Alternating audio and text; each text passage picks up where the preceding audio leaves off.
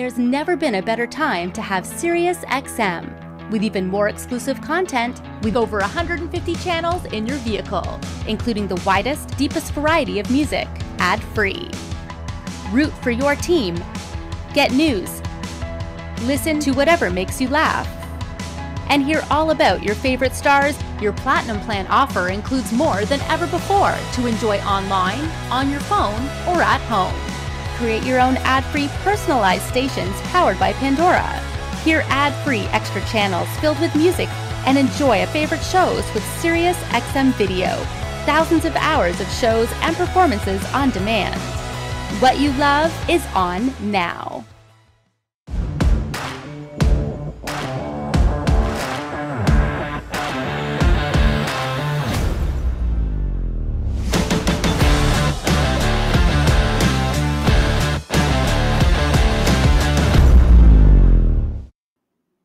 This month, it's all about high end audiophile grade gear, and the Italian manufacturer Audison is certainly at the forefront of that movement. Join us as we geek out with product expert Ken Ward, who's joining us today, and we're going to take a deep look into Thesis and some Virtuoso DSP product as well. This is CMA Connected, presented by SiriusXM, Audison, and it starts now.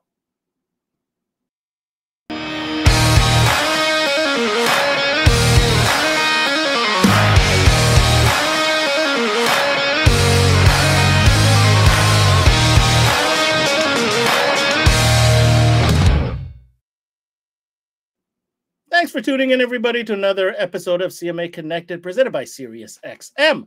I'm your host, Ben Wu, and yes, it is time to nerd out, geek out, whatever you want to call it. We're talking about audiophile grade gears. It's the, session I literally have been looking forward to the most, and each and every day, I'm kind of spoiled. I get to talk with the top trainers about the ultimate high end offering that they have for their respected brands. Now, today, the focus is going to be about Audison, Italian very very exquisite stuff and man i'll tell you if you've ever seen or had the chance to hear some of the upper echelon uh, offerings in the catalog well you're lucky because there's some pretty high grade stuff now we're going to dive in but of course let's first reach out to their canadian distributor for all things Audison. We're talking about automobility. First, I'd love to go to Montreal, where we have uh, Mr. Phil Cameron standing by, who is their product specialist. Hello, Phil. How are you? Hey, man. Doing great. How about you? Uh, yeah, as you can see, I'm having fun with this this month. If you've been uh, watching at all, I mean, this is oh, yeah. it, it, it's kind of like why we all got into it. We always aspired to play with this higher end stuff, and Audison obviously is very exciting. Uh, well, what does it mean to you, Phil, when we talk when we say Audison? And here we are, a chance to talk with Ken and like talk about just that top tier stuff. Uh, to me, it's the it's the stuff that you always dream on, like installing, but you never got to install. So I'm uh, looking very much forward to this presentation by Ken. But uh, having to play with this stuff is simply amazing. And if, if I know you, Phil, you probably have a couple goodies right next to you that we're going to kind of get a closer look at today, aren't we? Uh, yeah. If the angle of the camera was a little bit wider, you would see that I have a lot of stuff. Well, we will. We will. Don't worry. We'll get to you. Let's uh let's now go to Alberta, where our good friend, no stranger to CMA, of course, Justin Bond is standing by, who of course represents uh, a partnership with Automobility through the firm. How are you doing, Justin? I'm good, man. It's nice to uh, see you. It's very nice to see you. It's very, you know, we spent so much time talking about uh, high-end product. I mean, we're talking about audiophile. So I'd like yeah. to hear. Let's let's set the stage. You know, what does audiophile mean to you, Justin Bond? I mean, I think when it comes down to the terms of of gear or product or what's going into the car. Um, it really is a combination of of all aspects, everything of of everything that you're putting into there. I don't want to say it's just a pair of speakers. I don't want to say it's just a DSP or just an amplifier. I think uh, you know the end result is the ability of each one of those critical aspects to perform. Um, whether you know I, the the you know like you said on your your previous uh, live you know there's a ton of different definitions for the word audiophile mm-hmm. but at the end of the day i think it's it's the willing to go beyond or or, or the willing to to kind of go outside of your comfort zone to to to chase you know this iconic image or this iconic sound that you think you have in your head and like i said it's not just the speakers it's not just the amplifier it's not just the dsp so i feel you know with with now with automobility and with Audison.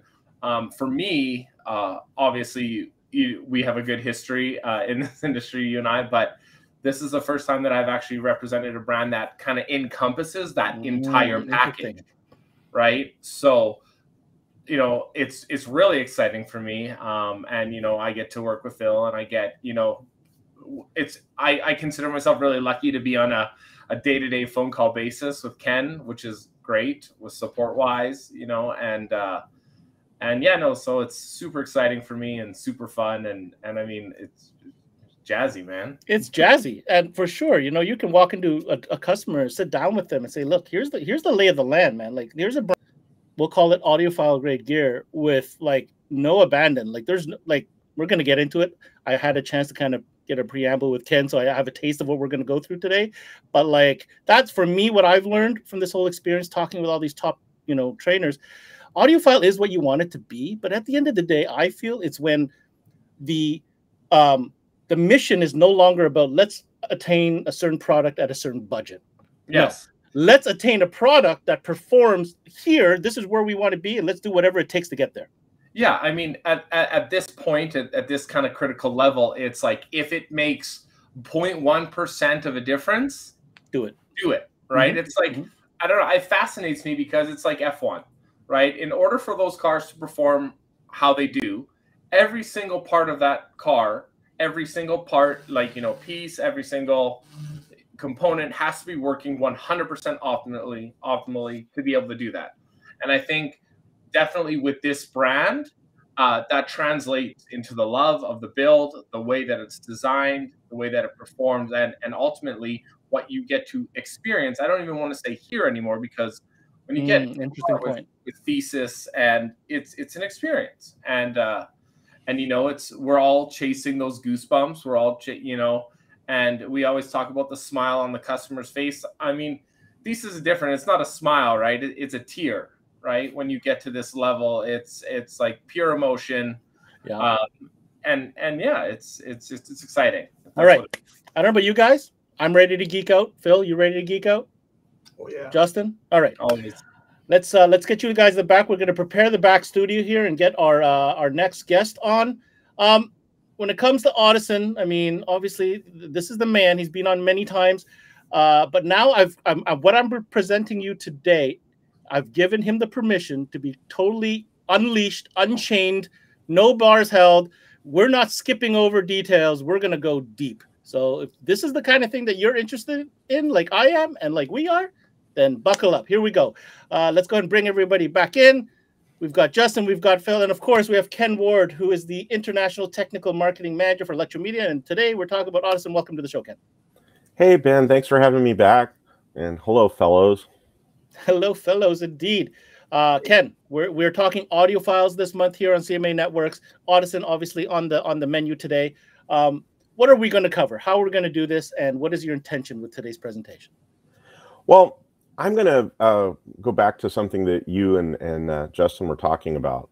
Um, when you're talking about an audiophile as a person, you're talking about a listener who cares more about the result than, than the average person on the street when we're talking about audiophile as a product category, um, and I, I, I, think I said this a little bit earlier this week, as a former product manager, um, I know that the decisions are always um, cost versus benefit for everything that you want to do. Um, if I wanted to add a fuse to a remote starter, I had to prove what the benefit was and if it was going to uh, reduce returns before I would be allowed to put a, an additional fuse in the kit when we go to audio, especially with product like we're going to talk about today, which was most of this product was the brainchild of Mr. Vagnoni. Emilio Vagnoni is one of the founders of Audison. Unfortunately, he passed away last year. So um, the products we come out with over this year and early next year will be the last ones we have with his fingers in the mix.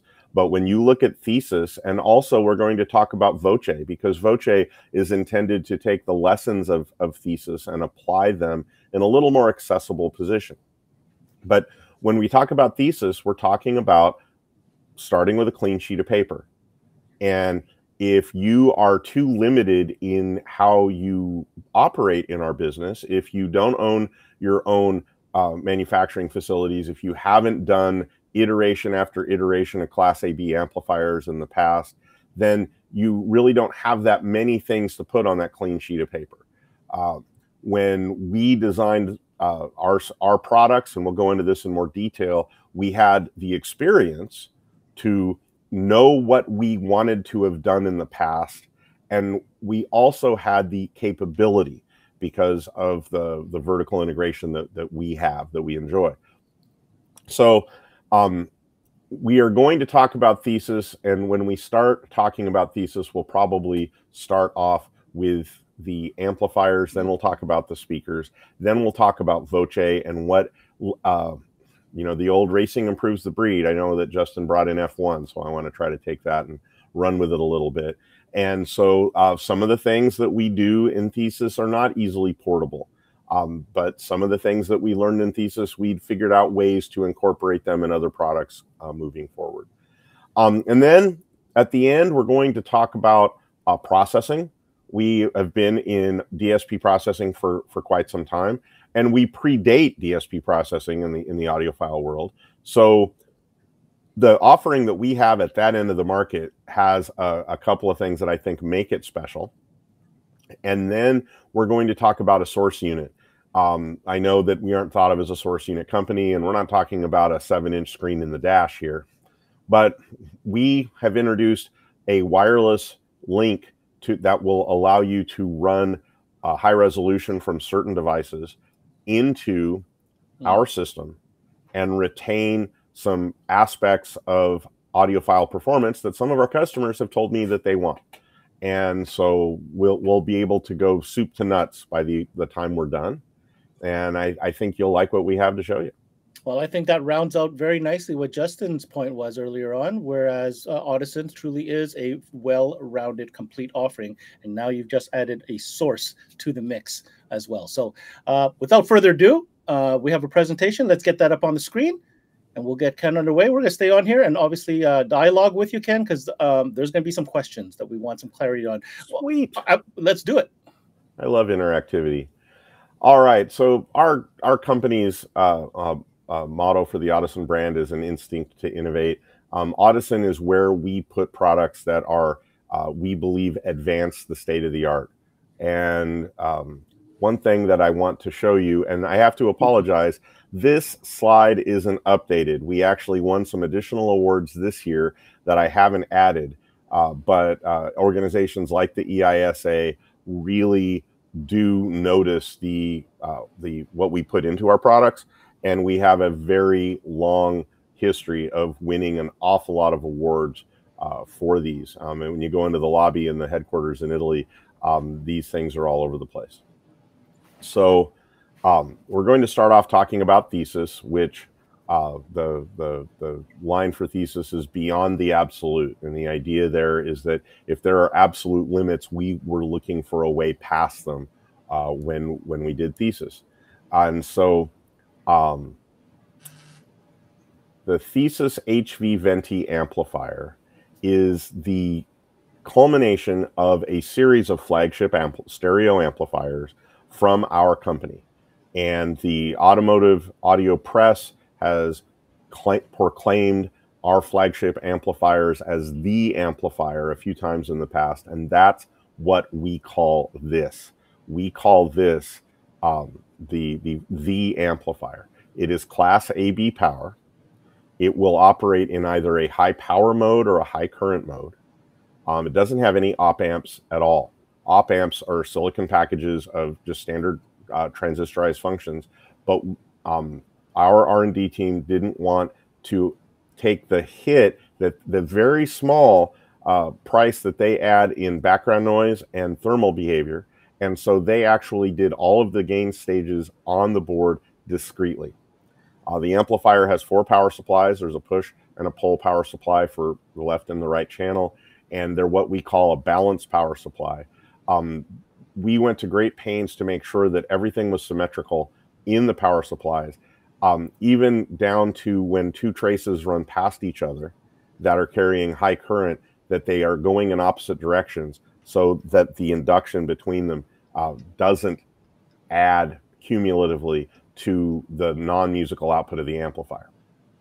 When we build these amplifiers, we take the transistors that we've purchased from the transistor manufacturer and we hand sort them first to make sure that they meet our spec and secondly we group them so that within the specification range the left and the right transistors are as closely matched as possible. Mm. um, if you could see this picture on the, the the i put up here of the amplifier um, you don't see any transformers on the board. Transformers are inside pretty much every power supply amplifier uh, that you'll ever see but ours are inside a non-magnetically uh, shielded casing that is filled with resin. And the resin is in there to help make sure that heat from the transformers is evenly dissipated and it's also to eliminate vibration. Uh, but the uh, the case is to make sure that the electromagnetic fields from the transformers don't affect each other and don't affect other parts of the circuit board. Um, and when i say circuit board i should say circuit boards because we have both high and low current uh, circuit boards for separate channels and the uh, they also follow a balanced approach so that we we keep symmetry in the circuit board as much as possible. Now, that is a picture of a build that um, hmm. uh, I, I don't remember where this is from. I think this is from Europe, but you can see that all of that lighting in underneath the glass of, of the thesis is actually incorporated into the amplifier. There are LEDs placed strategically within the amplifier to show you different sections of the amp. And so the entire presentation is designed to let you see what we've done. Because Ken, I need to stop you for a second. Yeah, I yeah. need to stop you for a second. First of all, this is like audio gasm happening here right here. I need can we just go back a slide real quick? Can yeah. we take a second to appreciate the design and just the aesthetic presentation of such a unique piece within the offering of car audio period. I mean, goodness gracious! I, like when I first saw that, I thought that was a cutaway shot. But now, if you now if you go forward to that next slide, that transparent plex, whatever the material that's is, how they come out of the yeah, they come out of the box like this. Yes, that's how they come out of their crate, and uh, wow. you know, and that's five of them. That's that's a lot. That's Justin's car, isn't it? Yeah, not that's yet. K and M, man. that is a beautiful way to do it. And I I've actually been toying with the idea of um, taking one of these and driving some home audio speakers and letting oh people geez. hear uh, the the home audio level of performance that we've got here. Um, now, when we go to the rest of the Thesis family, because there is a Thesis family of amplifiers aside from the HV Venti V amplifier, um, the first thing I want to mention about the, the TH family of Thesis amplifiers is while they are all Class AB power, they offer networked control. And what that means in this case, and I'll show you a picture in a moment, but in the old days, when you tuned a system, you went around and you tuned the input sensitivity adjustments and you set the crossovers in, in the amplifiers. And that was really how we tuned systems. And these amplifiers were intended to give you the controls for all of the amps in the car in one common location on the PC application. And this one actually has four modes. There's an energy saving mode, which is intended to even be able to play your system while the car is off. And then there are high current, high power AB class, and then A class modes. Now, you might think that the A class mode is like a corner condition where you won't be playing the amplifier very much in that situation. Um, but we designed all of the TH amplifiers to be able to support A class operation 100% of the time. The, everything else ramps down from that. These have five power supplies. In addition to the four power supplies for the audio section, there is a fifth power supply that runs the computerized functions in the TH amplifiers. Once again, we use the hand matched transistors. And once again, we approach the amplifier in a modular design where the low current boards and the high current boards are separated. So we will not have EMF from the, the high current traces spilling over into the low current signal path.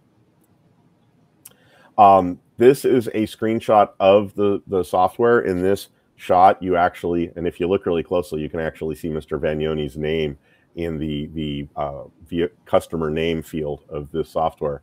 Uh, but we've got a, a, a, Uno, a Due, and a Quattro amplifier in the um, network.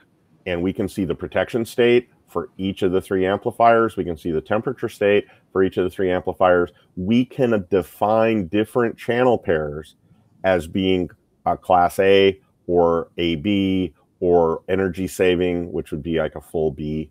And uh, you can select the actual input sensitivity, which is not with a, we're used with most amplifiers to having an input potentiometer, which is feels like it's infinitely variable. Um, but with these amplifiers, the input sensitivity is controlled by a resistive ladder. So there are discrete steps that are controlled by a digital potentiometer that we have access to in our software. So these are a really um, there's nothing like these amplifiers when it comes to networking them together and building a high-end system with multiple different chassis. There, there's no other family like it. Now, the Uno is actually my favorite of all the TH family amplifiers. It has a couple of features in it that aren't in the Due and the Quattro. Um, it has a frequency response up to 40K, so it is not a subwoofer amplifier, even though that's how a lot of people end up using it. Uh, you can see that it's high res certified in the lower corner. In fact, we have added high res certification to a lot of our pre existing products. We want customers who are concerned about it to not have to ask the question, not have to have the conversation. Um, if uh, how to approach high res, uh, we just want people to know if they want to play high res music, we're going to support them through a, a majority of our gear.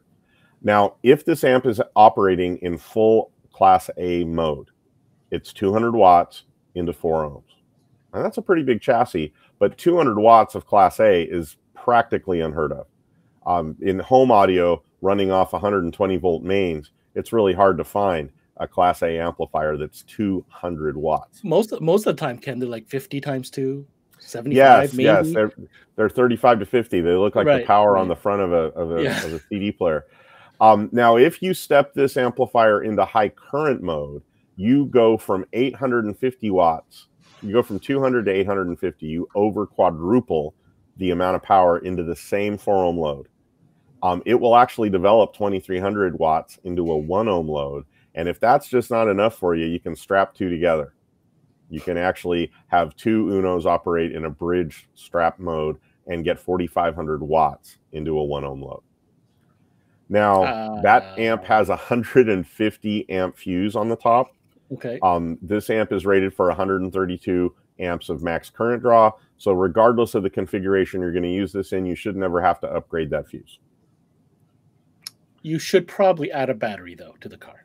you do have to make sure this is one of those products that if you're going to invest in this product, you have to invest in the power delivery to Mhm. the, the the system. Um, this is the kind of product where you start looking at batteries, you start looking at upgraded alternators. I know that's something that I've been engaged in it uh, my uh, myself because I have a, a project car where I'm looking at upgrading the alternator. Um, and this is the kind of vehicle that you or the kind of, of uh, product that you really want to see if you can do that in your vehicle. Um, now, when we go from the Uno to its, um, uh, we're going to go to the the Due, the stereo amplifier. This one goes up to 70k, and in Class A mode, this is more of what we were used to seeing. It's an 80 by 2 stereo amplifier into 4 ohms. As soon as you drop it into high current mode, it more than triples. We go to 300 watts into that same 4 ohm load. And uh, notice these amplifiers are 1 ohm capable, which is not that common anymore. Uh, we can do 700 watts by 2 RMS into that 1 ohm load, and we can bridge into a 2 ohm load 1500 watts. Now, on this amplifier, it comes with a 100 amp fuse. If you're going to use it in some of the highest current situations, you might need to upgrade that fuse because it can draw 105 amps of current in some of those situations. Same sort of thing also turns out to affect the Quattro. And when we go to the Quattro here, you'll see it also has a 70K high frequency bound, and it's 55 watts by 4 in Class A mode, which is more what uh, we're used to seeing. Mhm. Soon as we drop into high current mode, we go to 160 watts. So we're more than triple. And we can do 340 watts by, two, by 4 into a 1 ohm load. And we can do 700 by 2 if we bridge both channels. into two ohm bridge loads, which is pretty rare. Same thing here. We have a 100 amp fuse. We have 105 amp max current draw in the, the most demanding configuration. So you might have to upgrade the fuse in that situation. So those three amplifiers, we've got a four channel, we've got a two channel, we've got a mono, and then we have the HV Venti. That is a family of audiophile amplifiers that most companies don't even approach. But because of how we started, we started making class AB amplifiers and making them better, making them more musical and, and more audiophile. Uh, uh, I think our first amplifiers were so low power that uh, the stuff that we make now is is startling. Hmm. So these have every bit of uh, of no compromise approach that our company could bring to it. And then um, after we had been in amplifiers for many many years, uh, we went ahead and decided that we were going to get into speakers in a more committed way. And oh, Ken, our can I just ask you a question? Yeah, yeah, yeah. Um, I just want to just double check with you and confirm uh, that if you're doing TH amplifiers, uh, should you not want to do full DA or network, you're not going to risk any signal degradation by just using uh, typical RCA interconnects. Uh, thanks for mentioning that because I didn't actually call that out in the slide. Um, we have a technology that applies to our thesis products, and it also applies to our um, our Voce products if you add as an option uh, that we call full DA. Now, full DA can work on the thesis products in two ways. Um, the TH amplifiers have a Toslink digital in, so you can run a Toslink digital in directly into the, these amplifiers, and we have uh, high res converters that will convert the, the digital signal before amplification. Um, you can also use our proprietary networking technology to bring digital signal in um, and if you're using it with our Virtuoso, which uh, we have a few slides on later on, uh, you can have a fully digital uh, network. Um, that is a great way to do it. I don't, in the past, I think there have been some explanations that implied that that is the only way that you can do it. And I want to make sure to, to underline that we do accept uh, high quality analog inputs as well as the digital forms. So uh, you can build that system any way you like. You can bring Toslink digital in, you can bring uh, digital in from our processor, and you can bring analog in from whatever source that you like. Mm-hmm. So, um, and we will circle around and mention that a little bit more when we get to the to the virtuoso. But thanks for thanks for highlighting that because that's an important point. Um, now, when we originally got into speakers, uh, one of the reasons that we got into speakers as a uh, as a company is that we felt that the speakers that we saw out there, especially the higher fidelity uh, position speakers for car audio, were really based on what home audio drivers were doing and what home audio speaker cabinet systems needed, and not what we needed in cars. Uh, so that was really the the fundamental driver for us to get into speakers in the first place. And we have three different drivers right now in the Thesis family. We have uh, an inch and a half Violino tweeter, we have a three inch Voce mid range, and we have a six and a half inch Sax mid woofer. And I want to talk about each of these in turn and talk about what they do differently. And let's see if I got these slides in the right order here. Um, all of our speakers are built at our speaker manufacturing facility, La Voce Italiana. Now, La Voce Italiana happens to be in China, um, we're really fortunate that the Chinese government uh, had no problem with us taking over 100% ownership of our speaker manufacturer. We started off with a partner, and our partner decided they wanted to go into uh, cell phone speakers um, more exclusively. And so, what we do here is we build pro audio drivers for a number of customers, some of whom you've heard of. We just earned a large contract with Dolby, who is redoing a lot of cinema uh, audio systems using our drivers. Um, but for car audio, we only build our own brands. We don't build for uh, any other brands, even though some of them have approached us. We focus on Audison and our other uh, speaker brands uh, here. So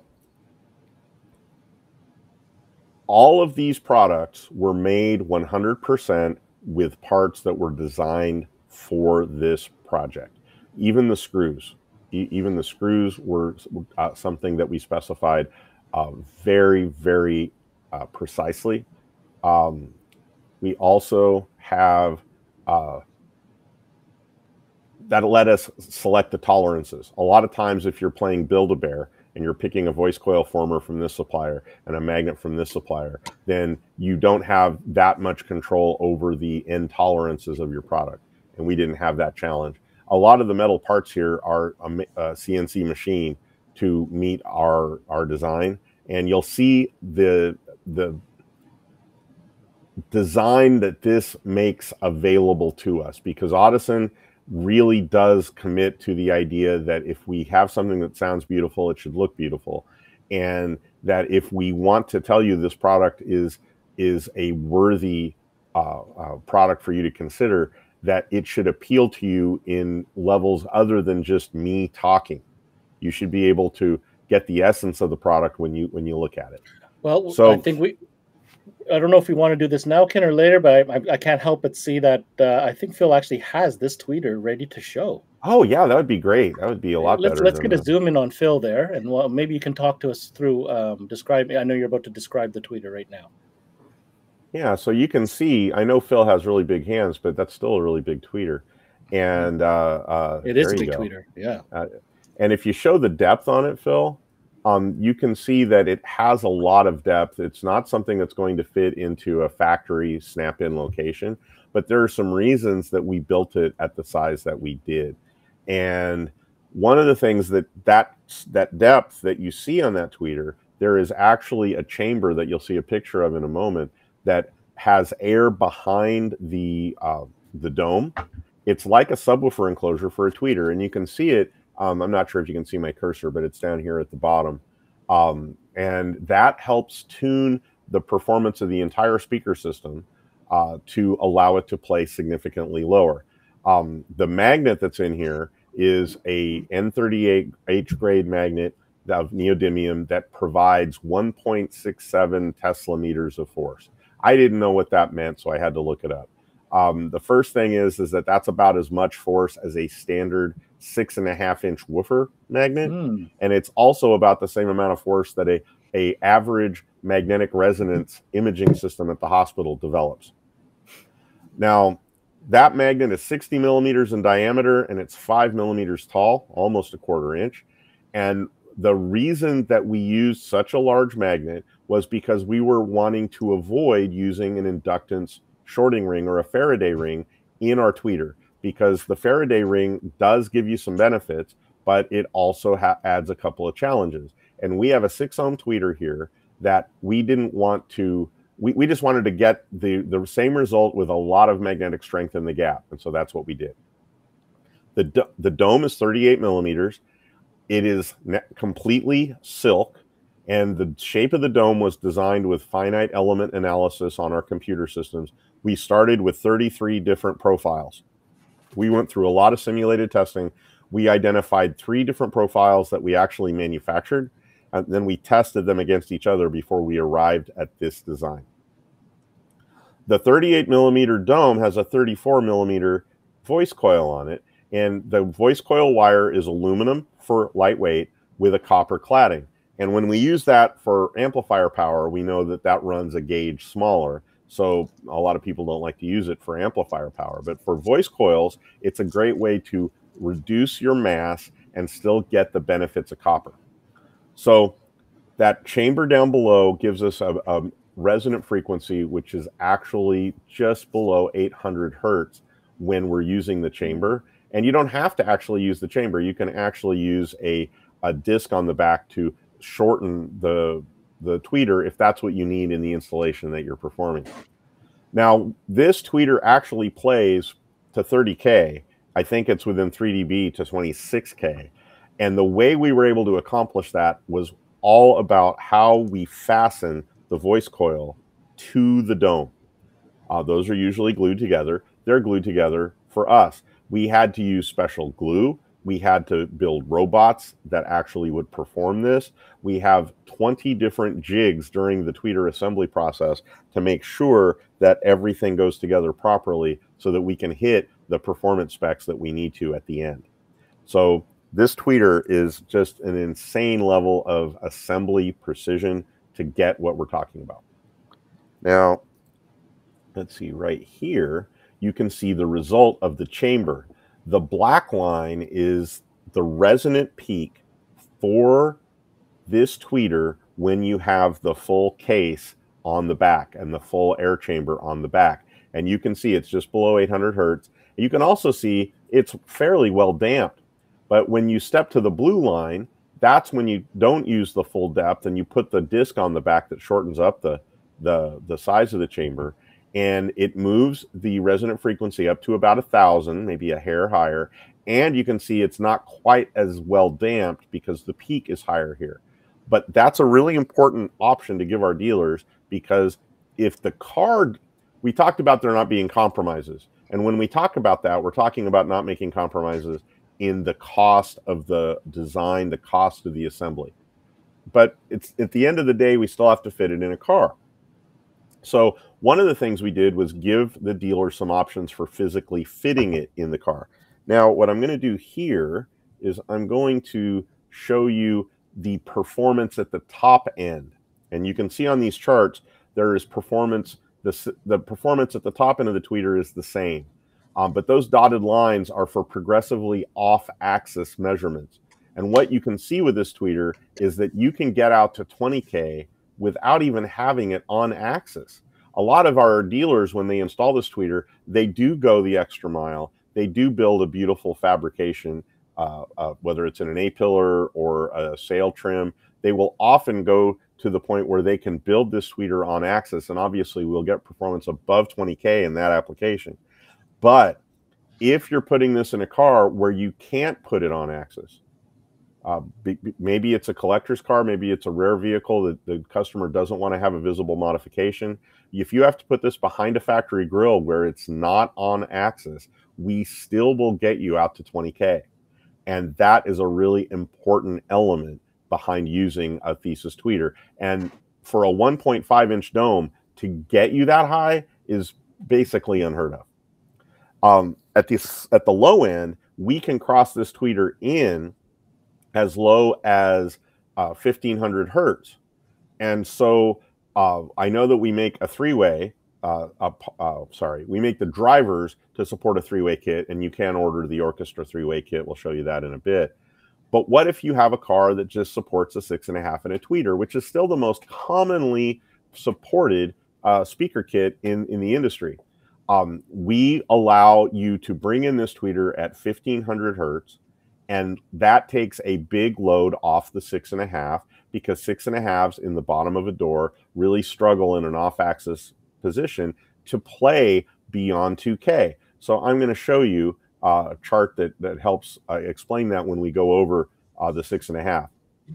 So it's a 38 millimeter voice coil. It's around 92, 93 dB efficient, depending on whether you use the plate on the back or not. Um, it is a six ohm tweeter, so it's good that you use a, a powerful amplifier with it. Um, and now we're going to talk about the the the three inch mid range. I don't remember if you have the three inch mid range there or not, Phil. Oh yes, I do. Well, hey, I couldn't resist talk. unboxing it. ah, okay. Phil has well, been thirsting over these products for the last 24 hours once he pulled it out of inventory. well, well the unboxing is is amazing. Let's take a look at that. Let's let's go to Phil. This is worth it. I I, I, I myself have never seen a box of these of these speakers, so let's go to Phil here. Gosh, I feel like there should be a soundtrack. Right. Godfather, yeah, maybe something Italian th- themed. All right. It feels like when box. you open the box. Oh, look like, at that! There's oh. a latch to it. Oh my, oh, my, yeah. my. All right. Ooh. Now you can see there we have a beautiful set of bar grills in the kit.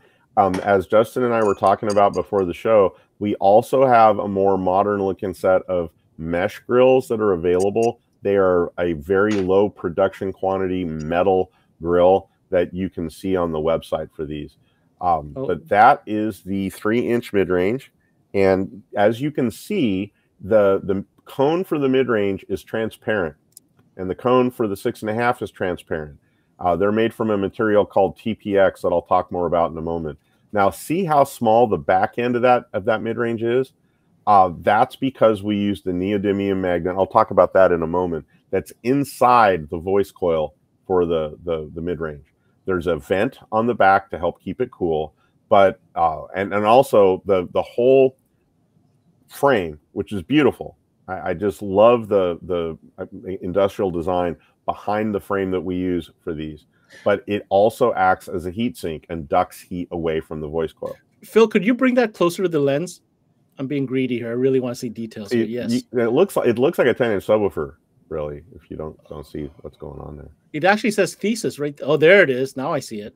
Yeah, interesting. Actually, one thing that's really unique is Phil. Can you flip it over to the back and just hold it up a little closer?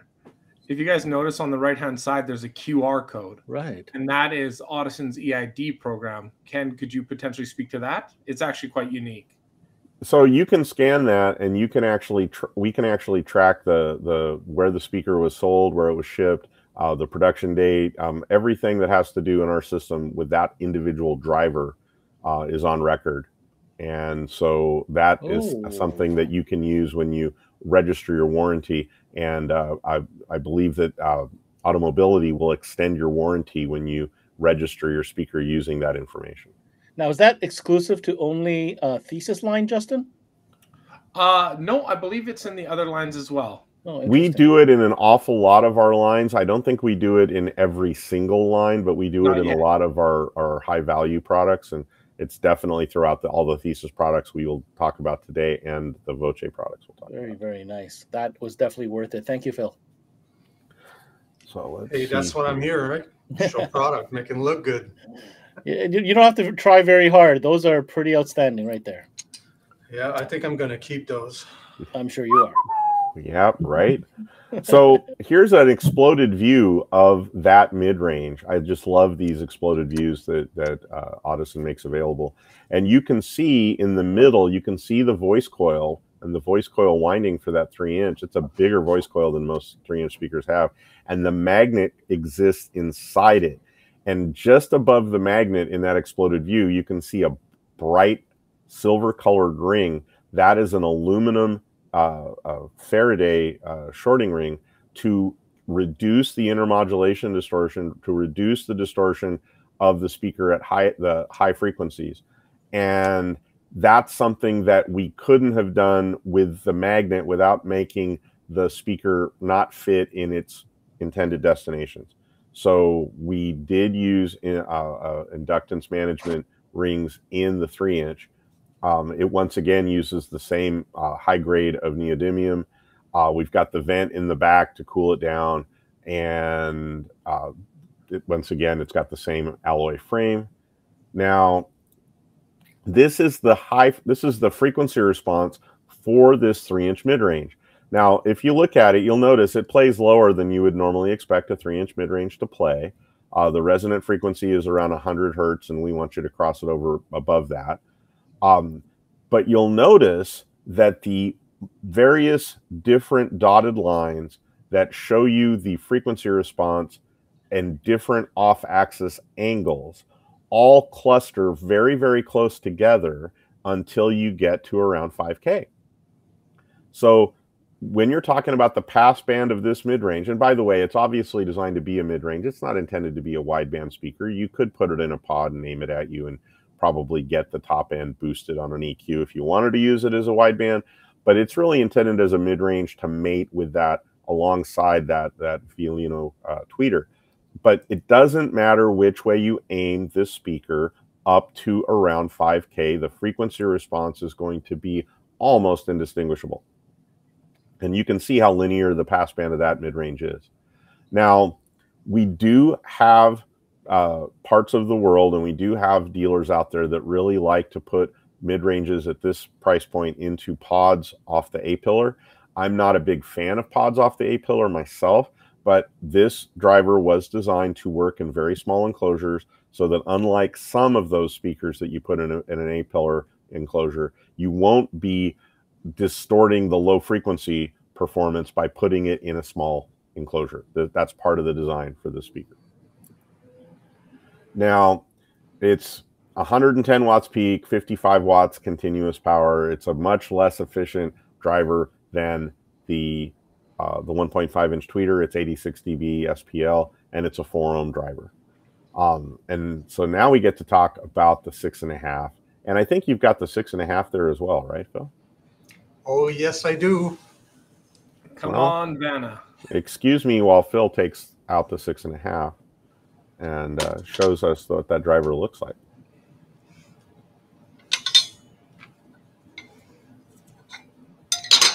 Once again, you can see the transparent TPX. That's a signature of the, the Voce drivers. Uh, TPX is a proprietary uh, uh, thermopolymer that is made in Japan. It is incredibly resistant to both heat from melting and heat from lo- for losing rigidity. A lot of plastics will get soft in the higher temperatures found in a car and will deform. And TPX is a proprietary material that's only available from one supplier in Japan, and that's what we use to make these cones. I want to make a point of saying how unique that is. Um, this is the first time I've ever heard of this material. It makes it very unique. You know, we're used to um, some rendition of paper type material that's been mixed with some type of you know resin or fiberglass or something of that nature. Or you know, you've heard of Kevlar. This is very unique, and uh, I did a little bit of research thanks to you, Ken.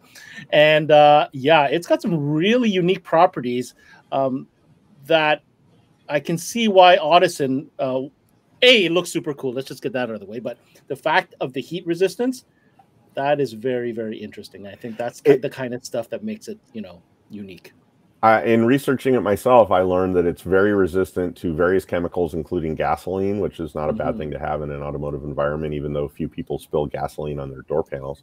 Mhm. Uh, it's very resistant to water. It won't change its behavior when it has some water on it. And also, it, UV. mo- should not should not change color either correct. interesting Mhm. and it is so resistant to temperature that a lot of medical grade test equipment and lab equipment is made with TPX, um, and that's uh, that's something that I didn't appreciate um, until I was researching for for this. Um, now, let's see here. This is the speaker that I think embodies this principle the most, but it's really something that affects all three of the drivers in the thesis line. Uh, the company didn't want there to be compression when music gets loud. They didn't want it to happen at the upper end of the output of the speaker. They didn't want it to happen when the speaker got warm. There's a principle called thermal compression, which means when your voice coil gets warm because you've been playing it for a while, suddenly the resistance changes and the impedance changes, and the speaker doesn't get as loud as it did before. And that's something that we really wanted to avoid any kind of compression, including thermal compression. And so when we go through and look at the exploded view of this speaker, you'll see it's a two inch voice coil. We tested larger voice coils and we decided that we didn't want to go with a larger voice coil. A two inch voice coil would give us the power handling that we wanted without the penalty of too much moving mass. Now, the, the neodymium magnet is around the outside of the two inch voice coil, and there is a uh, aluminum uh, ring in there to control the inductance of the six and a half inch motor as well. Now, look at the spider. This is something that I really didn't give sufficient uh, uh, credence to or sufficient attention to in the past, I should say. Um, a lot of high end speakers have a very narrow uh, uh, spider. Uh, the distance between the inner opening and the outer opening is very, very minimal. And what that does is it creates some uh, uh, additional uh, uh, uh, stress. Uh, uh, basically, spiders are terrible for adding distortion to speakers. And uh, what we did to control this spider, we used two different fabric textiles that are woven together. And I'll show you a, a diagram of this in a moment. But fundamentally, the biggest thing that we did was we um, made sure that there were five complete uh, uh, wave cycles in the shape of the spider. So that um, we also changed how we mat, mount the spider to the voice coil and how we mount the spider to the frame to make sure that those are symmetrical when the speaker is moving up and when the speaker is moving down so that we have a symmetrical compliance in either direction. Um, and I don't know, I had a video in here, but I may not have translated it properly for this this uh, system that we're using here. So let's see what it looks like. Um, you can see the edge of this cone. You can see that the the dust cap and the cone are really one piece, even though they change color here. Um, they are one piece. And what that means is that we were able to take the breakup modes that usually happen with the dust cap that's glued on top, and we were able to push them out of the passband of the speaker. I'll show you a graph in a moment that shows you how we were able to get better performance out of the passband of the six and a half from how we designed the cone. The cross section of the cone, which you can see in the lower left picture, it actually isn't a single sheet with a Hmm. constant thickness. There is actually separate curves to the, the upper and lower edges to increase rigidity and to make sure that it holds its position at the extremes of travel uh, within the, the spider and surround framework. I, I, I want to talk about this for a second, Ken. So this is something that I have not come across yet. We've spent lots of time talking about cone materials, cone design, flexibility, lightness, all that type of stuff. This is something very interesting. It's a great talking point. They've taken the time to apply certain thicknesses at certain points within the cone design, depending on the demand of the stress that it would take at that spe- specific spot. That is next level. Yeah, and that's something that's definitely beyond what most uh, speaker cones uh, get. You know, most speaker cones come off of of uh, of uh, fixed. Like, how do you do that with paper? You can't do that with paper. Uh, yeah, yeah. It's it, there's a lot. The way this cone is manufactured is unlike the way most cones Mhm. get built. That's that's absolutely correct. Um, and when you look it up, it turns out TPX is the lightest of any thermoplastic polymer that you can get. of course. and right. so that's how we were able to get the the low moving mass for the assembly but it also has excellent temperature properties like we talked about before Mhm. it's not going to change its performance you know when the car gets hot now i think what we're going to see here is a diagram of the um, the surround and the spider together and what you can see here is that the we did a lot of different profile designs for the spider. And then i mentioned before that we use two different types of fabric that are woven together to get the compliance we wanted out of the mm-hmm. spider.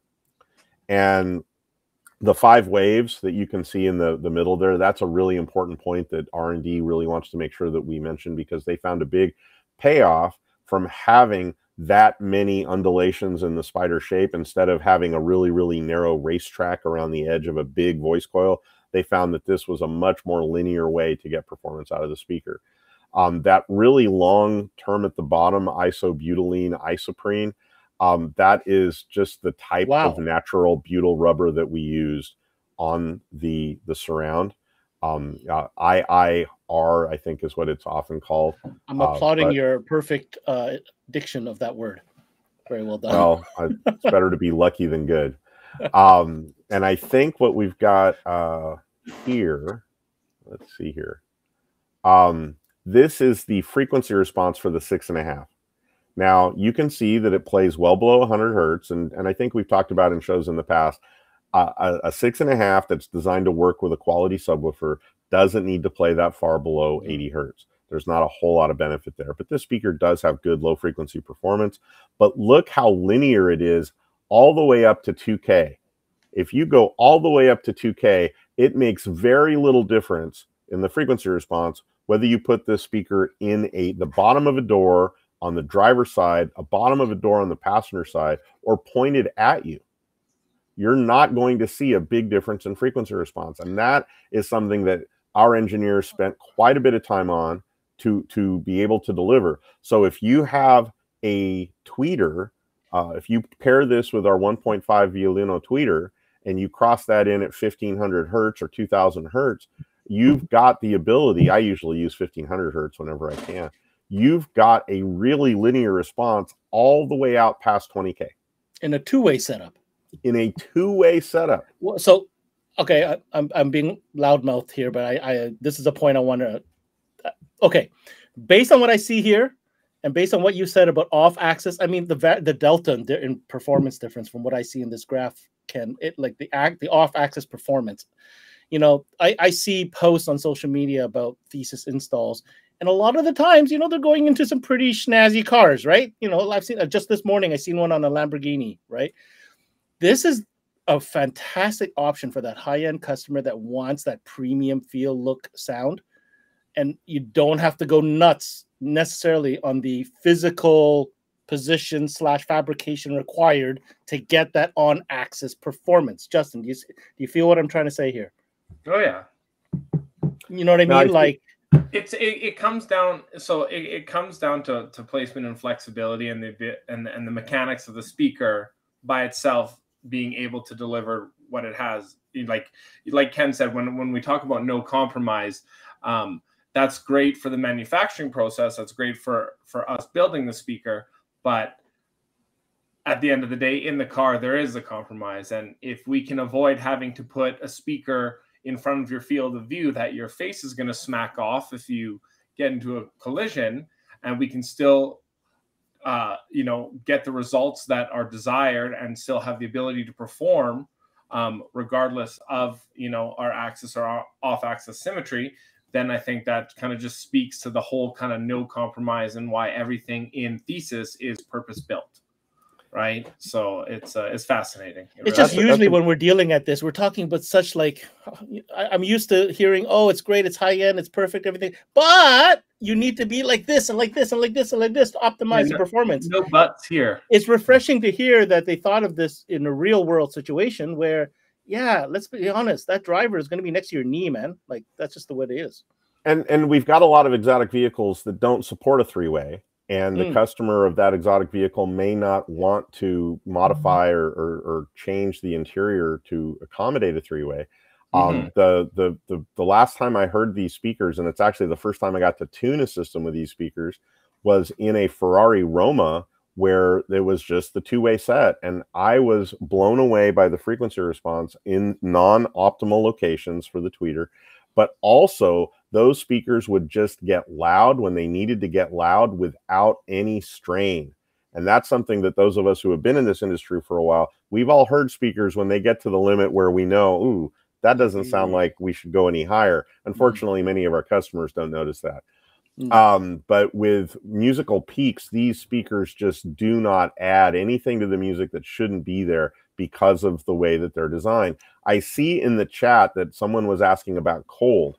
And this is actually one of the benefits of Audison being an international company. Um, one of the big, uh, historically, one of the big international customers has been uh, Russia and the Ukraine. And it gets really cold in Russia too. And so we make sure that those cones are going to maintain their integrity in ridiculously cold temperatures.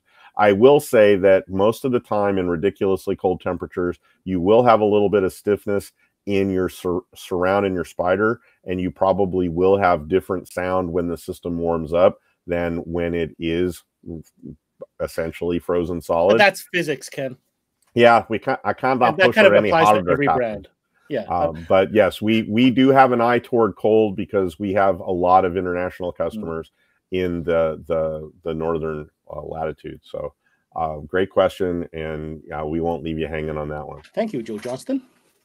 Now, along with that, um, we've got the basket for the six and a half. The main thing I wanted to show with this picture is just to show that even though this is not the most shallow six and a half around, we've all seen deeper six and a halves. Uh, the magnet diameter on the back is fairly limited because of the neodymium approach. And so we took pains to design a six and a half that could actually be installed in a car. Imagine. That's why we use the neodymium magnet. That's why we use the, the the voice coil arrangement that we did. So you may have to do some extra work to get that six and a half into some cars, uh, but we're all used to that. You know, that's something that that especially Audison dealers, um, mm-hmm. uh, we tend to be um, more experienced and more confident that. Um, but hey, well, let's face it. I've put fender washers on a window regulator for a speaker that wasn't nearly as good as this. Uh, so you know, we we we as an industry, we have ways of overcoming that sort of thing. Um, so here we are 300 watts peak 150 watts continuous around 87 db of spl and uh, it's rated up to 4500 hertz on axis. It doesn't play quite that high off axis and you don't need it to. Um, and of course the ultimate way to put that together is going to be in a, uh, a three-way kit which i'll show you in a moment. But first uh, I remember when we were showing uh, Ben some of what we were going to talk about, and he saw this, and I don't think you thought this was a passive crossover. Honestly, I thought we went to this new DSP that I've never seen before for a second. so this is the, the passive crossover. Um, by the way, I should mention that all of these Thesis drivers are our second generation of Thesis drivers, mm. and this is the second generation of the Thesis crossover. And if you look around the edges, you can see all those red uh, devices. Those are inductors and uh, there might be a red capacitor out there, but I think they're all inductors. And we kept them pretty far away from each other. If you think about how most passive crossovers, and this is a two channel passive crossover. So if you think about the way most two channel passive crossovers work when you put them together, you've got inductors right up against each other. And that means that their magnetic fields are affecting each other. That reduces your stereo separation and it actually changes the value of the inductor. So it actually screws up your crossover. So you can see here that we've kept our left and our right inductors very far away from each other. And also, if when you look at this picture up close, we actually have brass heatsink resistors in four rows down the center of the board with cooling bars to get heat off of the, the resistors bolted to the top of them. And the reason for that is this is one of the rare crossovers that actually has a mid frequency control. When some people use these passives, they're sometimes they're using them for, for customers who are not DSP fans. And so we actually have tuning built into this passive crossover, along with the ability to bi-amplify that most passive crossovers don't have. And of course, the, the level of parts that was used were just insane in terms of a lot of those parts were made specifically for us real quick, real quick, Ken. I know you're about to show the active set. So, is this a series an a la carte series? Do I have to order the passive crossovers separately? Now, that's an interesting question. Um, we, you can order it a la carte. We do offer an active system, which actually won best loudspeaker when it was introduced at the, the EISA, um, and that's the six and the tweeter, and no passive crossover. Um, those grills are included, and then we offer it as a two-way passive and then we offer it also as a three-way active. We do not make a three-way passive. Don't ask. Um, we we think that there are enough amplifiers out there now with multiple channels. If somebody wants to do this, uh, we think they're going to use a quattro and a Due, mm-hmm. that sort of thing. So that is the speakers. And did before we go into the Voce line, did you have any questions about the thesis product that we've been talking about, Ben? Uh, I mean, I think we covered it. You know, I'm still blown away by that first amplifier. That's got to be, you know, some of the sexiest gear period in the industry, um, just from a design style. I, I like I always say, it's like I compare things to guitars. What's a great guitar? One that inspires you to pick it up. That amplifier inspires you to make the time to enjoy your music wherever it is. You know what I mean? You just want to hear it. It looks, it sounds great sitting still. You know what I mean? Um, so kudos for obviously for that. But I mean, I I think we covered a lot deeper than we ever have when it comes to the thesis line of speakers in particular. Um, I think that cone material is something certainly that uh, is going to come up in some conversations after this presentation. Yeah, um, I mentioned that I had the chance to tune a Ferrari Roma that had these speakers in it. Um, it was actually at a dealer's uh, open house, and I stayed and actually demonstrated the system to a lot of his open house attendees for the next hour and a half or so. And uh, demoing a thesis speaker system is a lot like walking through a grocery store with a bouquet of flowers. Everybody's happy for you. Mm. Like it's just it, it's hard to be in a bad mood after that because everybody is so happy that you're letting them hear this this audio system. It, it was just an amazing response I got from every single person who auditioned it. Um, nice. Now, when we talk about Voce as a product line, uh, it really was intended to take some of the lessons that we learned with Thesis and put it into a slightly more accessible package that a few more people could get. And so we have amps and speakers here. And I'm going to just, if it's okay, I'm going to spend a minute talking about these and mm-hmm. draw some parallels. Now, on the amplifiers, uh, the entire family of amplifiers. There are four. Um, they are all class AB power. There's one exception I'll mention in a minute. They use a regulated pulse width modulated power supply. Now, when I say regulated, what I mean is is that within certain voltage ranges, you're going to get rated power and below that voltage range, you will still be close to rated power until you drop so low that the amplifier is not going to continue to operate and it's going to shut down in a low voltage protection state. Most amplifiers tie their output directly to their input voltage, and the input voltage goes up and down, the output will change. Now, that in older cars, and we're, we're used to this because we've been around this a long time. Uh, the way it used to work is you accelerate and the voltage goes up. So if we just uh, up the alternator, increase the batteries, we can upgrade our charging system, everything will be fine. Modern alternators work in reverse. They're computer controlled. And when you accelerate, the alternator shuts off to reduce parasitic drag. When you decelerate, when you take your foot off the gas, the alternator will start to charge the battery. If you step on the brake, the alternator will kick up and charge the battery more. And so it's really the opposite of what we expect from a charging system. So regulated amplifiers are something that we've had in our line for quite a while, and we see a resurgence in customers and dealers' interest in amplifiers that don't quite so stiffly tie the output power to the input voltage. So that said, you can see there's a similarity in the shape of the Voce amplifier compared to the Thesis TH. The heatsink uh, industrial design is modeled on the thesis. I didn't mention this, but the thesis is a combination of convection cooling and fan cooling. There's actually slots on the sides, and this one also has a computer controlled fan and a, a management processor called AMP, uh, which is a microcontroller that manages all the protection circuitry and the cooling system. The, the DNA trickle down is undeniable. Yeah, it, it is a family, right? Mm-hmm. Now we have gone back and certified these for high res. And the first amp I'm going to talk about is the flagship of the Voce line, the 5.1K.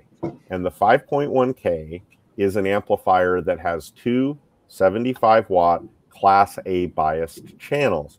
And what that means is for the first 30 watts or so, these channels are pure class A. And if you're using them on tweeters, um, and I should back up. The difference between Class A and Class B is that with Class A, the transistors are on 100% of the time, whether they're getting signal or not. And with Class B, the transistor that is not getting signal, when the positive half of the waveform is being played, the negative transistor shuts off. And there's this thing called crossover notch distortion, which is not related to crossover filter at all, um, where you hear a little, there's just a tiny little measurable background mm-hmm when one transistor is turning on and the other transistor is turning off. And one of the ways we can manage that is finally adjusting the turn on and turn off voltages so that everything is as smooth as possible. But audiophiles have recognized for some time that class A is the purest sound, especially through a tweeter.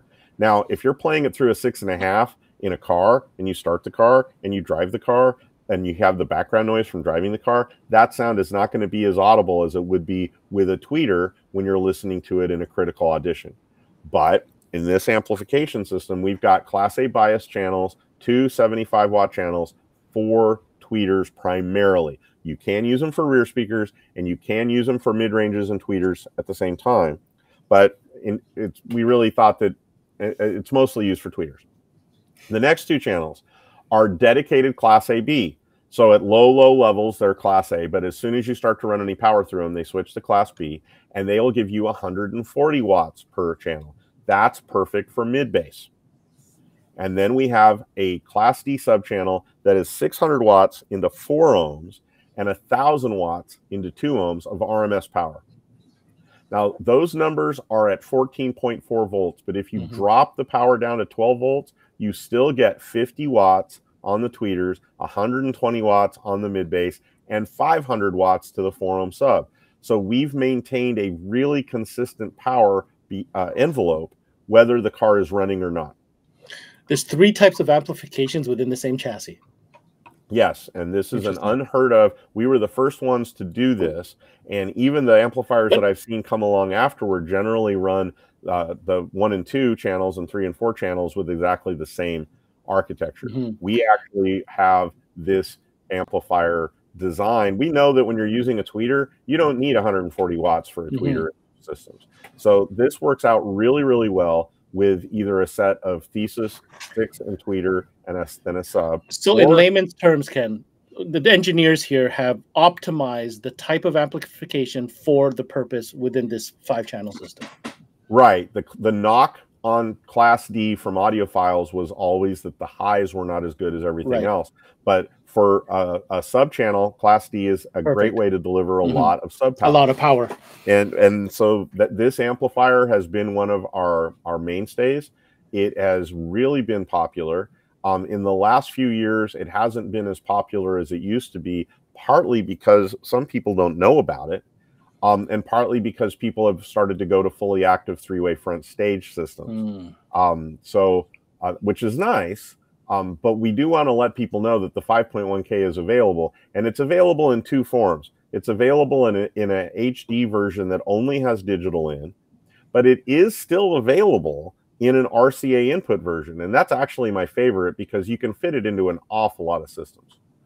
So, the uh, the next amplifier in the family, we have the same three names we used in Thesis which makes a lot of sense if you know Italian because this is four, two, and one. Um, it might seem a little confusing that the thesis amps have the same name as the Voce amps, but that that's the, the name is the number of channels, so it really is pretty simple when you think about it that way. Um, the Uno is a really cool amplifier. Once again, it is a Class A monoblock. It has a feature in it that isn't in the other two called Power on Demand and this is kind of um, it has a little bit of a class h element to it where the power supply will react based on the signal coming in. And so the amplifier will not be pulling full current at all times. It'll pull current when it needs it based on the demands of the input signal. It also has a function in it uh, called that we call a distortion limiter uh, when you're using it in a dual mono full range application. If you're using it in a sub application, you're not not going to be needing the distortion limiter for the same reason. It is a regulated power supply, and in this particular instance, this amplifier will deliver the same amount of power at 12 volt of, of battery power that it will at 14.4. 700 watts into a 4 ohm load, 1300 watts into a 2 ohm load, and 1700 watts into a 1 ohm load. Um, and I should mention that this amp is designed to be able to deal with complex impedances that momentarily drop as low as 0.5 ohms. And one of the reasons for that is, especially before a lot of dealers were comfortable with DSP, a lot of uh, flagship audiophile systems were running on completely passive networks. Uh, some speaker companies still have very complex passive networks for their flagship speakers. And those passive networks present really complex impedance loads at various frequencies. So this amplifier was designed to be able to handle um, momentary uh, impedances as low as half an ohm. And I don't know if you does anybody have one of these over there and uh, in um, on your side, folks? Because I forgot to ask. Yeah, I do. If you want to see, I got the 5.1 here. All right, well let's yes, check yes, it yes, out. please. All right. Dun, dun, dun. So they're All not right. the smallest amp. You know, they're not the smallest amp. I don't think underneath the seat of my Civic is the, is really the right home for it. By the way, you can see that the fuse, just like in the Thesis, is available on the top, so you don't have to pull the amp to get to it. Um, the controls are also on the top. Now, if you could rotate it a 90 degrees to show the edge, you can see that it's not a very tall amplifier. You know, it's it's fairly easy to fit under a false floor. It's fairly easy to fit in some tight spots as long as you have the footprint for it. And you can see those shiny uh, cap screws on the, the ends are what hold the output transistors to the heatsink. Um, all the power comes in on the same side there. And then I think you've got the signal on the other side. So we keep signal and power separated. And that is a 5.1K, isn't it? Yes, it is, and it's Yeah. not a light amplifier. Lift lift with your legs, Phil. Lift with your legs.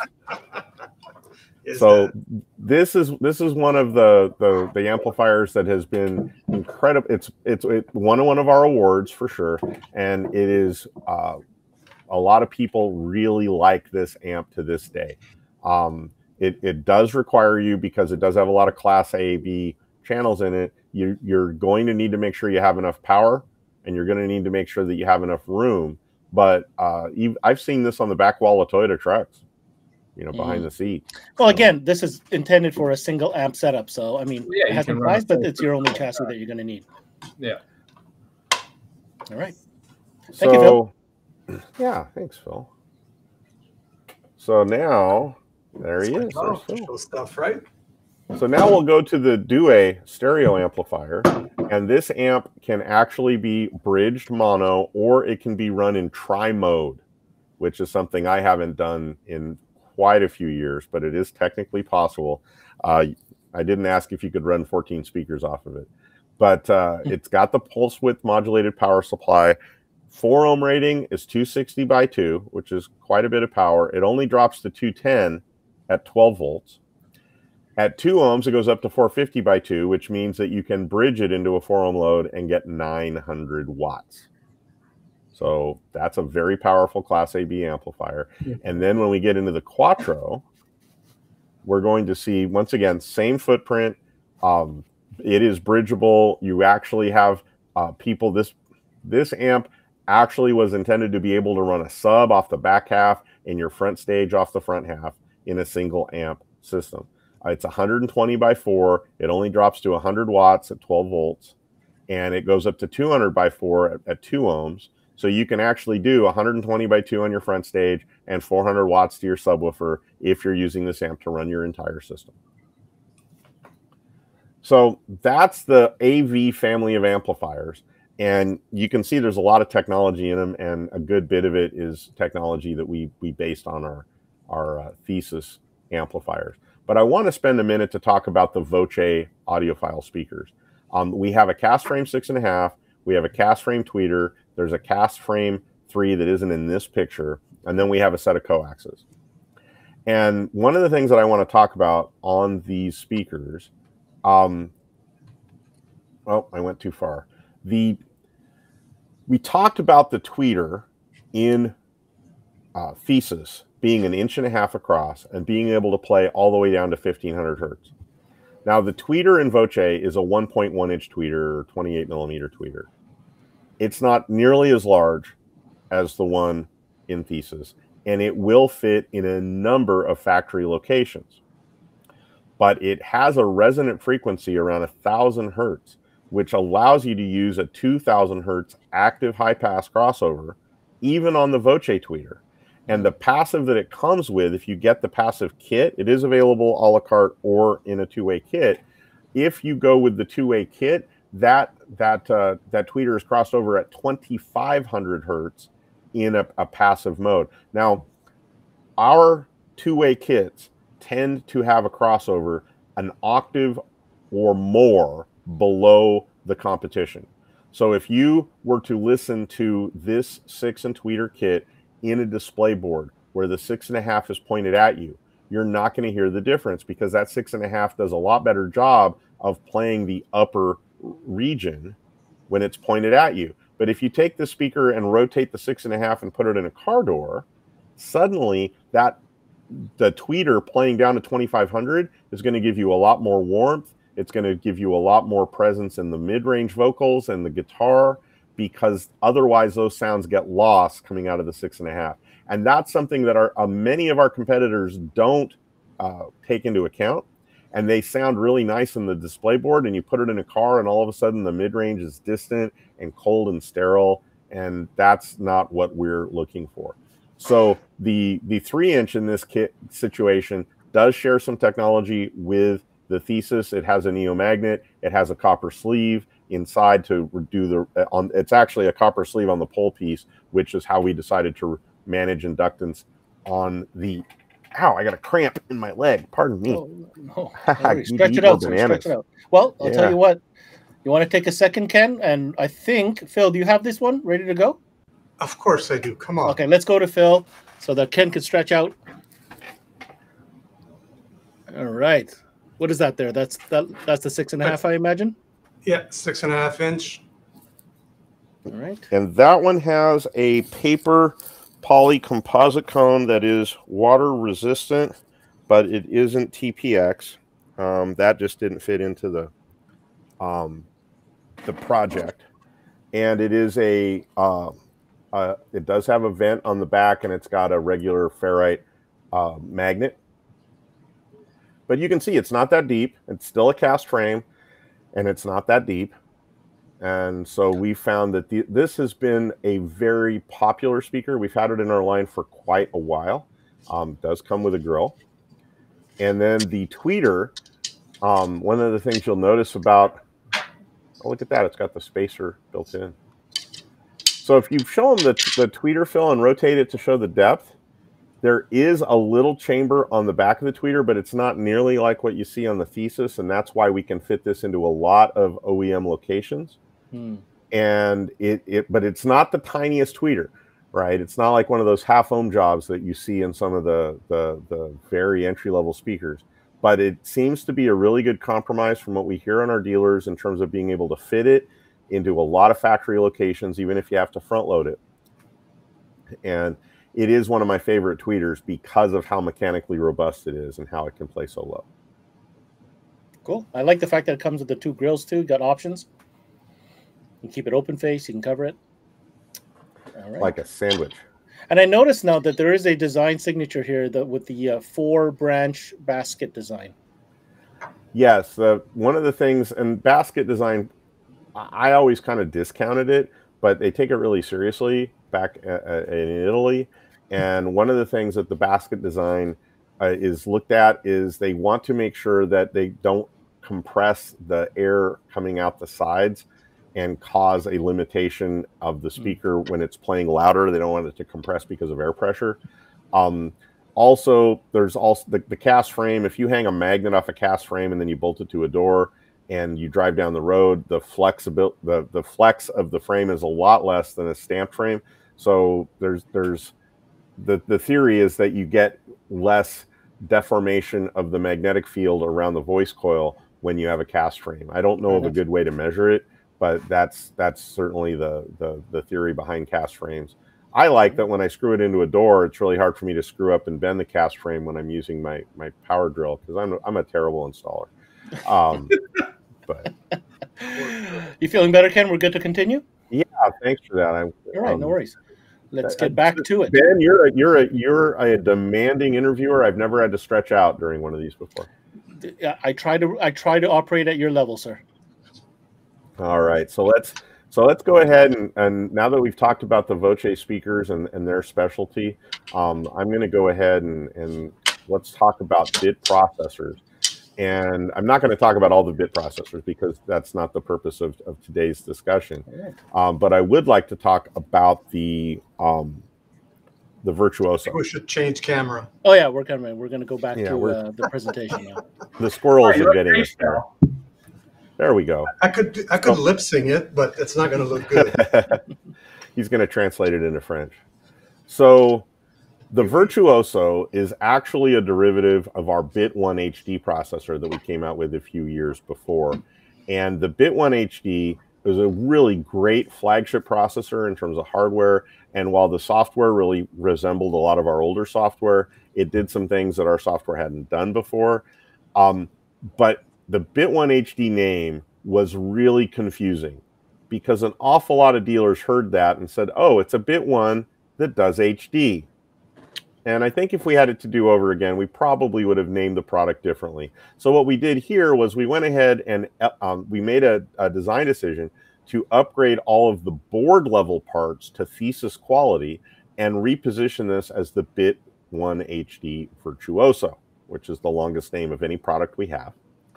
But the Virtuoso has some things that just aren't available in other DSP processors. And so I'm going to go ahead and show you a couple of those, and then we'll look at one in a moment. I think we have one.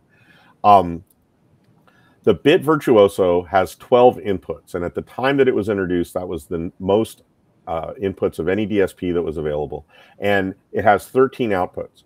Now, traditionally, our DSPs had operated in a summing mode where you were required to sum front speakers together and then some rear speakers together.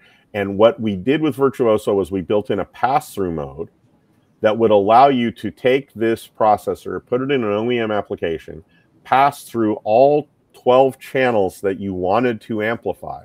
Now, some factory systems have more than 12 channels, but you don't always need to amplify all of them. So uh, there's obviously some uh, strategy here. Then you could add a sub with the 13th output if your system didn't have a sub, and it would pull the sub bass out of the channels that had the sub bass and route it to your new subwoofer. Um, this processor has two Toslink outs.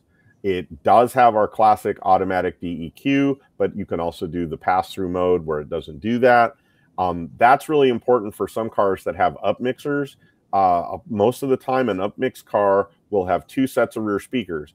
And most DSP processors don't know what to do with two sets of rear speakers because they've just got a front and a rear mm-hmm. field defined in the software. But mm-hmm. if you use pass through mode, you can actually have the rear speakers that are the stereo speakers and the rear speakers that are the surround uh, ambient speakers kept isolated from each other. This was also our first product that, and I believe this was the first product in the industry that did dephase, where you could connect it, it would analyze the signal, and it would recommend to you how to correct phase manipulation by the OEM before you went to the tuning process. And um, I was actually, uh, I had the, the, the good fortune to be involved in testing this product when it was in development, and uh, my my Toyota head unit on the bench sure got a workout but you can put connect that and it will detect the two all pass filters on the head unit and it will give you recommended filters to correct them. It's like a smart phase detection that it works. Mm, yes. Interesting. Okay. Now, we also at the same time had the ability in this product to adjust for time. So if there is delay present on any of the channels, it'll synchronize all the channels for you. And this is something that we have trickled both of these capabilities are something that we have incorporated into our AF Forza amplifiers that we just launched this year in a form, not the identical form, but the concept is there. Um, this also incorporated parametric equalization. This platform uh, went from graphic EQ, which is what's in the old bit one, to parametric EQ, but some of our dealers still are comfortable with graphic EQ, so we have a button so you can go back to graphic EQ if you want. Um, but the parts in here are really nuts. The the the components that were selected were intended to elevate it to be a suitable companion for thesis. And in this picture, you can see that if you decide to go to the full DA approach that Justin mentioned earlier, that there are full DA ports on this processor, as well as to two Toslink inputs. So when we did that, we wanted to make it match with the thesis product that I mentioned earlier. And so here's what we ended up with with our audio specifications. Uh, this distortion has more zeros on it than I've ever seen before you get to an actual number. Um, the frequency response is up to 44K, which is uh, high, why it's high res certified. Um, the signal to noise is 104 dB on the main input and 110 dB on the optical input, which is again far greater than we can ever benefit from in a moving car. But in a critical listening environment, this is uh, this is better than CD quality in many cases. The channel separation is 80 dB, which again, that's that's CD quality. That's something that's uh, far greater than than what we're going to be able to benefit from in most situations. And this last number isn't something that I think you need, but I think it's something that reflects the horsepower that we bring to the product. The delay is adjustable in four hundredths of a millisecond or six tenths of an inch.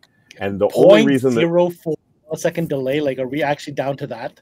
Yes, precision? and I am not here to tell you that you're going to hear the difference when you make right. those changes in four hundredths of a millisecond. What I'm telling you is that that's only possible because of the incredibly high sampling frequency right. of the SHARC micro or the SHARC DSP processor that we are using inside the product because the the the the quantization chunks of time in your delay mm-hmm. settings are always driven by the sampling rate of your microcontroller. So um, if we go here, you can see that there's a, a, picture of the board and even our uh, the basic capacitors are in the Silmic series from Elna that have a uh, they're they are specially made intended specifically for audio and they're a little bit more but that's what we use because we knew we were making an audio product here and we didn't want to we wanted to, to, get every advantage we could uh, the propylene capa- film capacitors are also intended for audio we have some Burr Brown op amps that are specifically in the Sound Plus series for better performance. And then we have the Cirrus Logic uh, 8 channel, uh, 24 bit, 192K D to A converters. And then we have the SHARC microcontroller.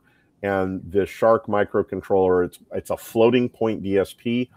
Most manufacturers, including in our lower cost products, we usually use fixed point DSPs Floating point DSPs simply mean that they are a lot more flexible in how they can perform their calculations. And that's what allows us to do some of the things that we do with Virtuoso. And one of the things that we do with Virtuoso is we use, um, we have a room correction method using an algorithm that we licensed from an Italian university called Percept. And what we're doing here is very similar to what happens when you buy a home theater receiver and you set it up and you connect the microphone to the home theater receiver and you hit the calibration button. What we do is we measure the response of the car, but we also measure the phase response of the car, not just the amplitude response. And we do that using our bit Tune measurement system. A lot of people think that the bit Tune measurement system actually tunes the car, but it turns out it's just the measurement system and the Virtuoso tunes itself using the instruction set we put into the SHARC microcontroller. So along with getting left and right to match and along with getting the target response that we're looking for, Percept will also address phase anomalies that we want to, to uh, fix. So in that sense, Virtuoso is the most advanced DSP that you can get. So you're going and on the record, Ken, saying audio grade DSP courtesy of Audison. So I just want to touch on a couple things about Virtuoso quickly. Yep. Yeah. Um, well, I think we're running out of time, so let's make no, let's no, make no, sure no, we, no, uh, no. Let's get this okay. part in. I want to hear what okay, Justin has to say here. I just, I just want to say, I, I mean, we're obviously, I don't want to get too techy on it, um, but Virtuoso does some things in my personal experience from using DSPs that make it really advantageous um, in in in certain things, as in I can compensate for bass roll off extremely effectively in Virtuoso. I can compensate for a dynamic EQ in Virtuoso. And I have the ability to affect crossovers and filtering and EQ in Virtuoso without manipulating the output phase of my signal. Um, and just to let you guys know, you know, it requires almost four times the processing power to use these type of filterings completely done electronically than it does with an analog style filter.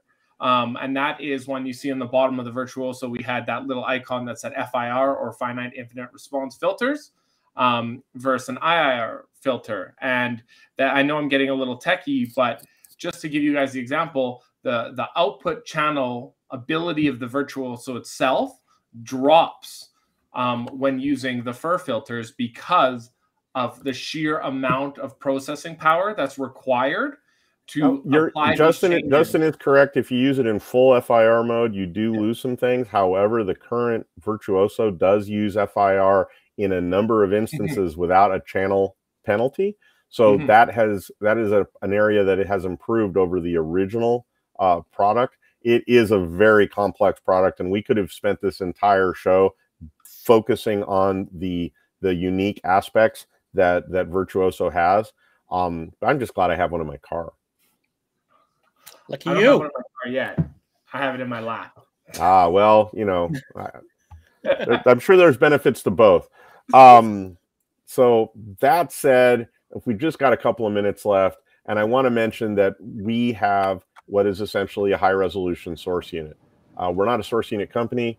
Um, few people think of us as being a source unit company, but what we recently did is we came out with a product called the Beacon, which is a high fidelity Bluetooth module. And if you use a device with LDAC, an LDAC high res codec, you can get 96K throughput through from a, a device running LDAC.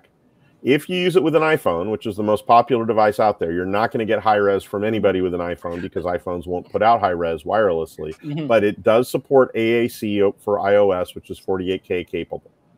Um, it has a switching Toslink through, and it has a feature called absolute volume, which will be the last feature I explain for you today.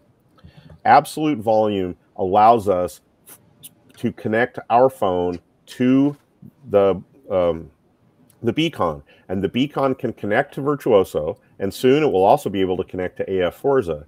And when you pair your phone and set it up in absolute volume mode, what will happen is the volume buttons become the volume control for the amp or the Oh. processor.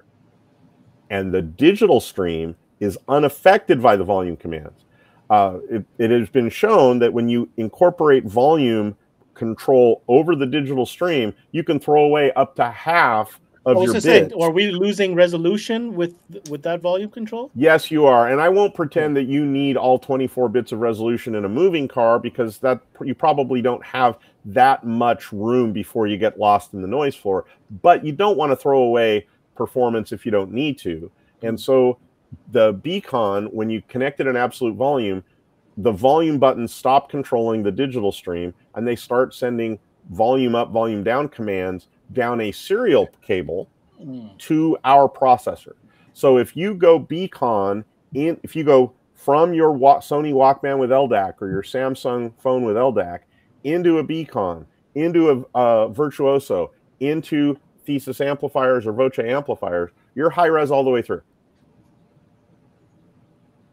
Very much so. Still, And uh, well, sorry, just real quick. Through this device, is there other um, control options? Is that an app or is that just a simple Bluetooth connection? It's a simple Bluetooth connection, Okay. but the the way that it controls the um, the way that it controls the volume is based in how the pairing occurs. So it's something that you take care of at the at the moment of pairing. Here is a chart that we did showing the frequency response uh, that we were able to achieve with LDAC, which is you can see it gets out here to 40k, and then with Apple AAC, right, um, the purple line is going out to 20k. So while we know that Bluetooth in, inflicts a penalty, uh, using these codecs, we were able to get performance that we think is better than what you're going to get from other Bluetooth devices that don't support AAC if you have an iPhone or don't support LDAC in high resolution mode. So, as you know, Ben, other than that, I've got nothing. Dude, that, that I think this was the most intense, most explicit and detailed presentation we have gone through yet, and I, I know people are going to appreciate this for sure. Uh, so first of all, thank you so much, Ken, for putting together what an, like a really in depth. Like, wow, you went overboard, and uh, we love it. We, we love you for that. So let's go ahead and take away the presentation. We'll wrap this up right now. Um, guys, if you followed along and, and been listening to this, there's a section of this show. You can go back, watch it, stop it, re- replay it. He has covered everything you need to know. If you need more information on Audison products, let's put up. Well, let, let me do this. Let me do this. Let me first say bye to our guests here. So, Ken, thank you so much for coming in. Of course, we always appreciate it, and we do look forward for our. We do have another session for that other Elettromedia brand that we'll be talking about soon enough. So, Great we'll to see you soon. guys. Take care, Ken. See you later, man. Hey, bye, Ken. Justin, I'm going to say bye to you real quick. Uh, again, uh, thank you so much for coming in. And uh, I know you're happy because now you got like this full line of product that uh, you're pretty Yeah, excited. cool. about. We It's fun see to that. play with, right? It's, uh, Absolutely. it's exciting. We're an excitement-based industry. Unfortunately, we're not a necessity to live. so No, we're all about fun. Excitement going is is is perfect. 100%. We, we sell emotion. 100%. And last but not least, Phil, excellent job on the Vanna White duties. Can't get Oh, better than that. That's top notch. I've been told that I can keep all the samples and put it in my car, so can't even. Get on it now. Justin. Oh, wow. If that's all you got to do to get thesis apps, sign me up. All right, guys. Thank you so much for being with us today. Thank you, Ben. Take care. All right. So, real quick, let's put up some information for you. If you're looking for more detail, I don't know how much more detail you need than what we went through today, but Audison products can be found at audison.eu. It's an international site. Make sure you choose the right language. And if you happen to be a dealer in Canada, get a hold of the team at Auto Mobility, actively seeking, yes, you heard me, actively seeking new accounts in your region for Audison, it's a hot brand with a lot of hot ticket items. Get a hold of them and they will set you up. On that note, let's go ahead and quickly remind everybody if you're into this kind of geeky stuff and you want to learn more, stay with us here on CMA Networks. We are doing the audiophile sessions straight through till November 10th. Check out that. I mean, look at that poster. Every brand you can think of in high end. It's amazing. We're so proud of ourselves. We're so happy to have this type of support, and we need you to join and tune in to make sure we keep this going.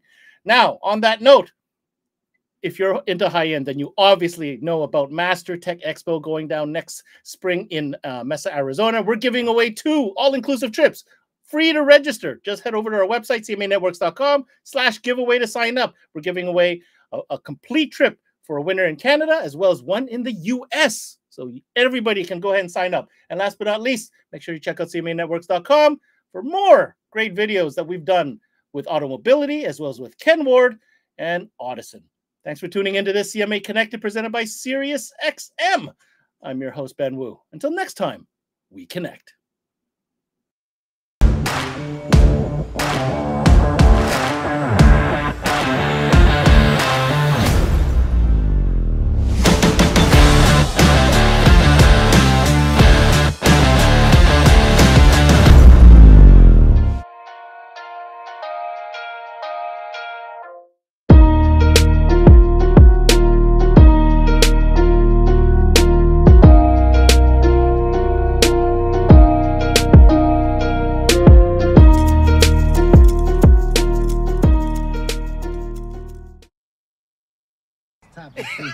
Mean, yeah, let's talk about Stop you know, it. today, today we're gonna go Yo. topics. Roll it down. I am. You don't need a car to listen to Sirius XM. You can listen anywhere. You know that, right? What? Kevin Hart's Laugh Out Loud Radio. Kevin, you could use your phone. What? What? Alexa, play Kevin Hart's Laugh Out Loud Radio on Sirius XM. What? This is how I know you're getting old. I guess that was it. What?